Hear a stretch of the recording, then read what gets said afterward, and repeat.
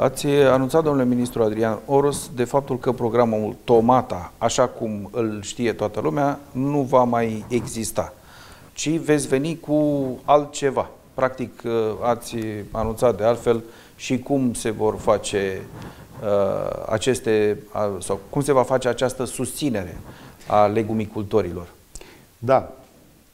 Și am încercat în tot anul trecut, de câte ori am fost întrebat și am ajuns în anumite zone unde erau și legumicultori la întâlnirile noastre în diverse județe, să răspund întrebărilor. Și au fost mai multe întrebări și, sigur, și analizele care le-am făcut împreună cu colegii mei au dus la această decizie. De ce? În cei patru ani prin care s-au derulat acest program, uh, s-au cheltuit aproape 173 de milioane euro. O sumă destul de importantă.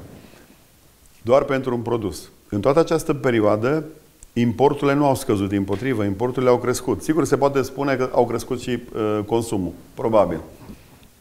Dar importurile, scopul principal era aceea de a se, de a se reduce importul și deficitul uh, balanței comerciale pe acest produs. Și acesta uh, nu a scăzut deloc, pe de parte. Pe de altă parte, a fost atât de ușor de fraudat programul, pentru că era destul de primitiv, să zic, uh, să produci două tone pe mii de metri încât, sau ceva încât de genul ăsta. A, tentația a fost mare mm. și în, doar la verificări sumare făcute la unele sesizări am constatat fraudări mari a acestui program. Pe de, pe de altă parte, foarte mulți legumicultori care fac legumicultură în mod tradițional sau lideri ai asociațiilor de legumicultori ne-au întrebat, domnul ministru, dar de ce doar tomata. De ce nu aveți un program legume în spații protejate? Uh-huh. Și noi să cultivăm așa cum e corect ceea ce ne cere piața, nu ceea ce spune ministrul Oros. Pentru că eu am văzut și în anii trecuți, uh, chiar în presă prezentat, uh, beneficiarea acestui uh, program Tomata care nu avea unde să-și valorifice producția. Practic, oamenii au muncit, sigur au beneficiat de, de acel ajutor care probabil le-au diminuat din pierderi, dar neavând cum să-și valorifice producția, au aruncau efectiv. Și atunci am spus uh, că o să mergem pe două direcții ca să rezolvăm. Și sigur, împreună cu legumicultura să gândim acest mecanism. Pe de-o parte, o să lărgim spectrul de legume și aici, tot împreună cu eu să stabilim care legume. Știm că în sprijinul cuplat uh, vegetal, unde anul acesta o să fie aproape 4880 de euro pe hectar, este o altă sumă care este, vine în sprijinul legumicultorilor, Uh, care fac legumicultură în spațiu protejat. Alături de tomate sunt și castraveți, sunt și vinete, sunt și ardei și varză, cred. Probabil vom merge tot pe acestea. Sau vom stabili împreună alte legume. Avem uh, acum uh, și o să avem în curând și pentru 2020 statistica privind producțiile și privind uh, balanța comercială. Și într-adevăr, balanța comercială, deficitul balanței comerciale, care a fost în 2019 de aproape 1,3 miliarde de euro, ne spune că pe primele trei locuri, din, în ceea ce privește deficitul, este așa, carnea de porc, legumele și apoi uh, fructele.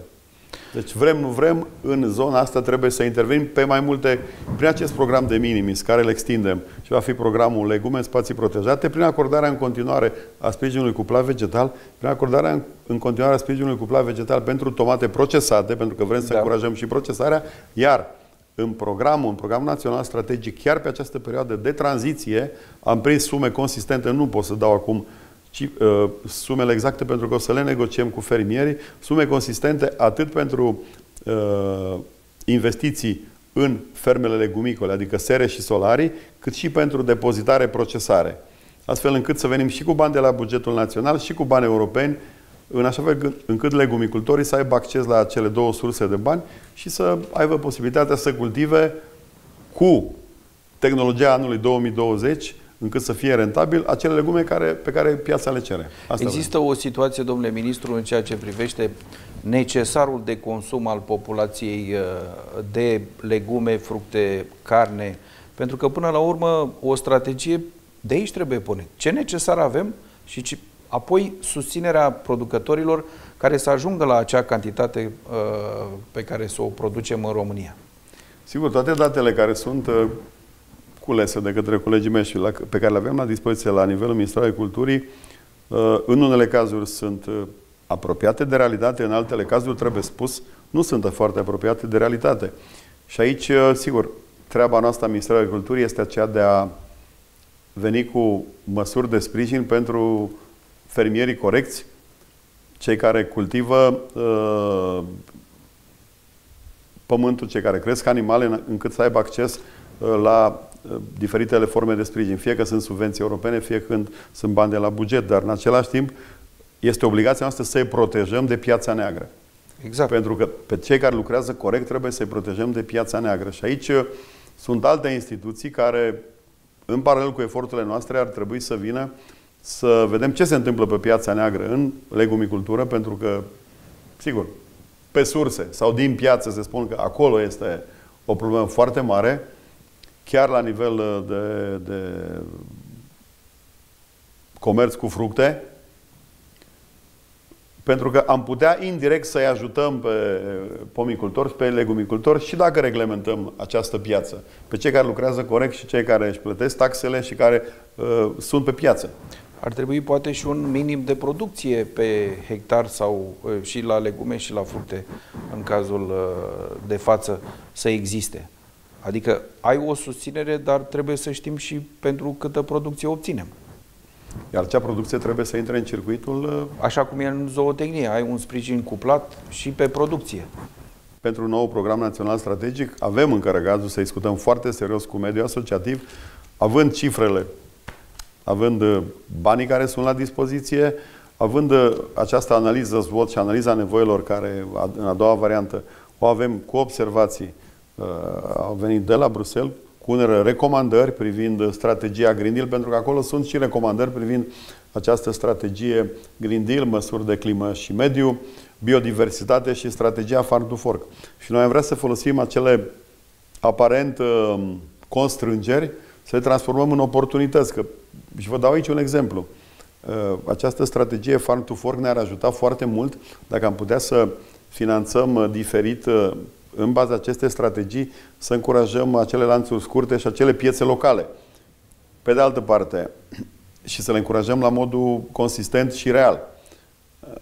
Pe de altă parte, această strategie privind uh, Green Deal, privind sau ar încuraja foarte mult uh, agricultura ecologică, care la noi se pretează și deși la momentul actual este, dimensiunea ei este foarte mică, insuficientă, la noi se pretează mai ales în zonele cu anumite constrângeri naturale, dar uh, unde producțiile sunt mici, unde factorii de mediu sunt vitregi, uh, dar uh, unde producția ecologică, dacă s-ar certifica în acele zone, prin valoarea mai mare, ar putea să facă rentabil agricultura în acele zone. Și atunci am putea folosi aceste măsuri ca niște oportunități să valorificăm aceste uh, particularități ale noastre, ale agriculturii românești, ale reliefului din uh, România.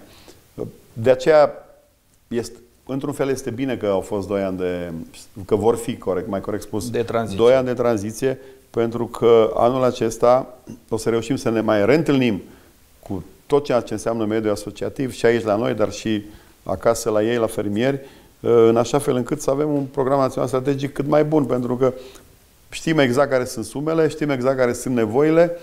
În această perioadă de tranziție folosim bani noi pe măsuri vechi, vedem ce se întâmplă în acest doi ani, în așa fel încât, începând din 2023, să putem regla mai fin uh, finanțarea. Pentru că, de fapt, despre asta e vorba, despre modul în care reușim să, să finanțăm, să stimulăm o anumită direcție a agriculturii în sensul dorit de noi, conform nevoilor, că nu putem forța decât să stimulăm prin uh, finanțare.